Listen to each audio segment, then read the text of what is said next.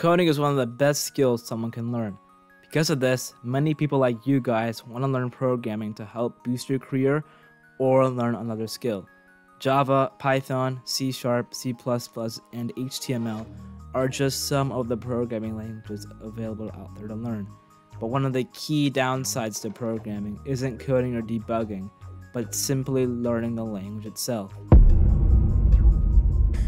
You see, there are millions of people, young and old, who want to learn programming, but some find it difficult to do so with hard classes and 10 hour long courses all over the internet.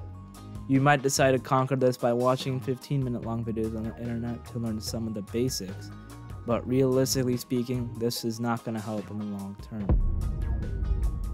That's why in today's video, I'll be discussing top secret methods that not even the best teachers may tell you about learning how to code. And on top of that, I'll be showing you some resources that will change your coding game forever and bring you ahead of the game. So be sure to stick to the end so you don't miss out on this amazing opportunity to change your life forever. But before we do that, let's first discuss why traditional methods of learning today will not help you in tomorrow's future. Now, I'm not saying that sitting in a classroom or roaming the internet can't help you to learn how to code. They can, and this is how I originally learned how to code. But instead of following rigid structures given to me, I took it a step further and used a strategy that 99% of programmers don't use that'll help you get ahead of the competition. Before we get into that strategy later in the video, let's imagine you're sitting in a classroom learning everything you need to know about riding a bike, from balancing, steering, gears, suspension, etc. And you come out of that class knowing every inch of a bike, but there's one problem. You never actually learn how to ride a bike.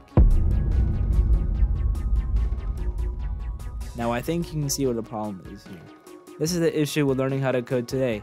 You can absorb all the information you want from courses and classes, but you'll most likely walk out of there knowing little to nothing about programming. And if going to class or watching 10 hour courses is the only thing you do to try and learn something about coding, you might as well not because 99% of new programmers do the exact same thing and you'll have a tough time standing out in the crowd.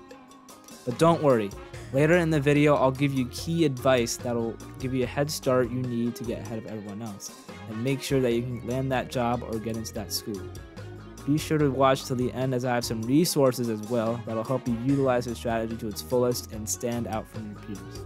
Now let's go back to that bike example. Instead of just walking out of class knowing everything about a bike, you've taken the extra time after class and actually learn how to ride a bike. And you tell me who's better someone who knows what a bike is and can ride it, or someone who can't. Now, it's the same thing with learning how to program today. You might know the function of a for loop or an if statement, but until you actually use it in your own programs, you've essentially learned nothing. And here's where my strategy comes in that 99% of programmers don't use, and it's what I like to call experimenting. This is where you first watch one of my videos or someone else's, and then immediately practice what you learned in that video. Now I know what you're thinking, but here's where you take it a step further. Instead of just plainly practicing this, you play around with it and you create your own little games and mini programs with whatever you just learned. You can also add this to a passion project you might be working on, and trust me, once you master this technique, you'll be better than most people when it comes to programming because instead of just practicing whatever you learn, you apply it to what I call mini programs to help you understand these concepts better. You're essentially playing around with code to understand it better. And if you want to get even better at programming to catch up with our fast paced world today, be sure to hit that subscribe button for more programming content in the near future. Now, here's an example. Imagine you just got done learning about for loops from watching one of my videos. Now when you go and practice this on your own, you create little mini games like a countdown machine or a number guessing game. This might sound like a lot of work and really unnecessary to some people, but really practicing and dialing in on this will let you lock in whatever you're trying to learn so you don't forget any new programming concepts in the future. And this is especially important during much more advanced programming concepts involving rendering and even AI. And before we dive into the best resources to use for experimenting, it's important to understand some common pitfalls that many beginners fall into when learning how to code. Avoiding these mistakes will help you save time and frustration and help you to become a more effective programmer. Let's go over a few of these now. One of the most common mistakes I used to make when experimenting is something we all used to do.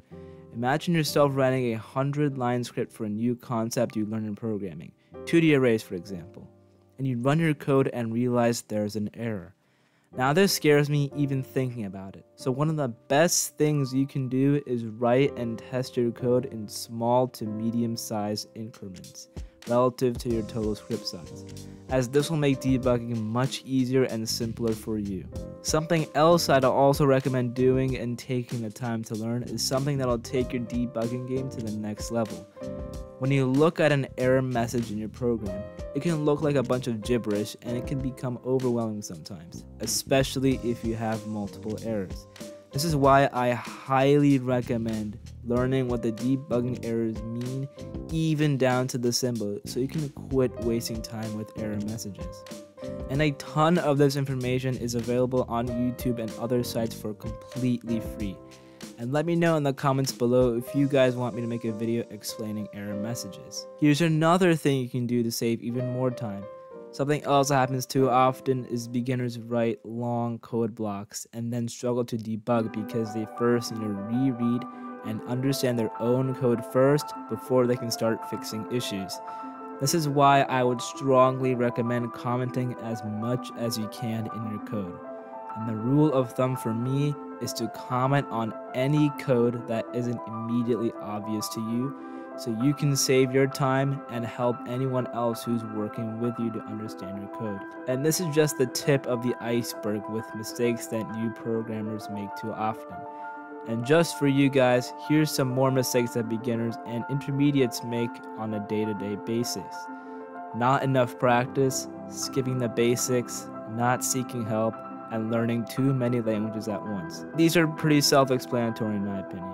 And now, here are some of my favorite resources to use when you apply this technique. And be sure to comment below your favorite techniques besides the one included in this video. Using resources like books, videos, and coding challenges can help you practice your coding every time you learn something new. And you can use it on the go. One of my favorite websites to go and practice my skills on is CodingBat. CodingBat is a free resource that anyone can use on any device. It contains lots of different coding challenges from the basics like if statements to much more complicated subjects like 2D arrays. And it even contains solutions in case you ever get stuck. The best part is that it can be used for Java and Python. So be sure to check it out in the description below. By the way, this video isn't sponsored, I just really like using CodingBat to learn new Java skills. This next resource is something very special to me and it's my ebook, The Self Made Programmer The Absolute Guide to Getting Started. This is a project I've been working on for quite some time now, and I truly believe that this will help you get started on your coding journey no matter what programming language you decide to learn or what level you're at. Link in the description below. Now, we've gotten lots of advice in this video today, and in order to use experimenting today, you need a good code editor like IntelliJ to start your coding journey and master your skills. So be sure to check out the installation video for IntelliJ on screen now. Thank you for watching.